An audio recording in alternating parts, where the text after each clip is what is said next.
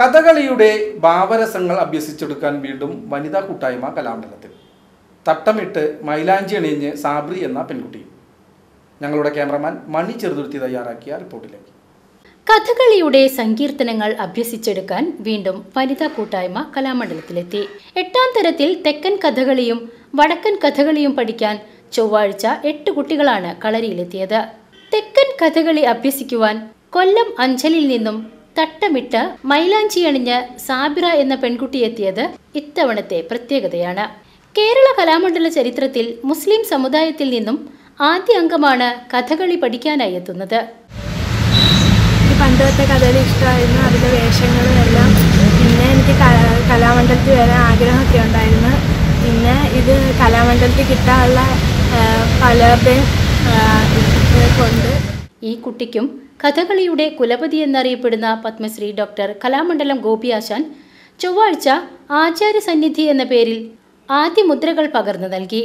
ഇതോടെ ചരിത്രയേടുകളിൽ ഇടം പിടിക്കാൻ ഈ വിദ്യാർത്ഥിക്കുമാകുമെന്ന പ്രതീക്ഷയിലാണ്. കൊല്ലം അഞ്ചൽ ഇടമുളയ്ക്കൽ ഗവൺമെന്റ് ജവഹർ ഹൈസ്കൂളിൽ നിന്നും ഏഴാം തരം കഴിഞ്ഞാണ് സാബ്രി ഈ അധ്യയന വർഷത്തിൽ കലാമണ്ഡലത്തിലെത്തുന്നത്. ചെറുപ്പത്തിലെ കഥകളിയിലും കഥകളി വേഷത്തിനോടും ഇഷ്ടം കൂടിയ സാബ്രയുടെ ആഗ്രഹ സാഫല്യം കൂടിയാണ് ഈ പ്രവേശനോത്സവത്തിൽ നിറവേറുന്നത്.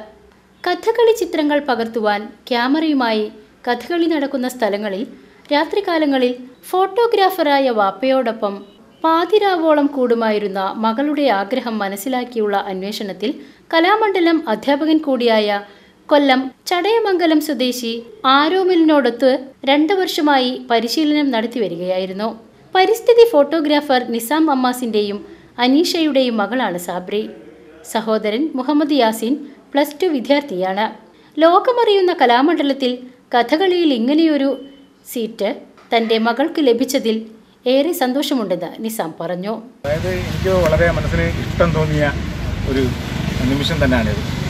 എന്റെ മകളെ ഈ സാബ്രിയെ കൊണ്ട് അവളെ കൊച്ചിലെ പോലെ അവൾക്കൊരു ഇൻട്രസ്റ്റ് ഉള്ളൊരു അതായത് ഞാനൊരു ഫോട്ടോഗ്രാഫർ അപ്പോൾ ആ നിലയ്ക്ക് ഞാൻ ചിത്രങ്ങളൊക്കെ എടുക്കാനായിട്ട് കഥകളിയിൽ ഒരുപാട് ഇഷ്ടമുള്ളൊരു ആളായതിനാൽ എല്ലാ വർഷവും ഞാൻ ഓരോ സ്ഥലങ്ങളിൽ പോയിട്ട് കഥകളി ചിത്രീകരണത്തിനായിട്ട് ഫോട്ടോ ക്യാമറയൊക്കെ ആയിട്ട് പോകുമ്പോൾ ഇംഗ്ലീഷിലൂടെ കൂടെ കൂടായിരുന്നു അപ്പോൾ അത് കണ്ടിട്ടൊക്കെ ഉള്ളൊരു പ്രചോദനവും കൂടെ ആയിരിക്കാൻ എനിക്ക് ആ ഒരു താല്പര്യം വന്നത്. പിന്നെ എന്റെ ഇഷ്ടവും എല്ലാം കൂടെ ചേർന്നപ്പോഴത്തേക്ക് നമ്മുടെ ഒരു നല്ല മലയാളത്തിന്റെ കലാരൂപം കഥകളി. അതിനെ പഠിച്ചെടുക്കുക എന്നുള്ളത് സാമൂഹികദായികപരമായിട്ടും അങ്ങനെ ഒന്നും അല്ല നമ്മൾ കാണുന്നത്.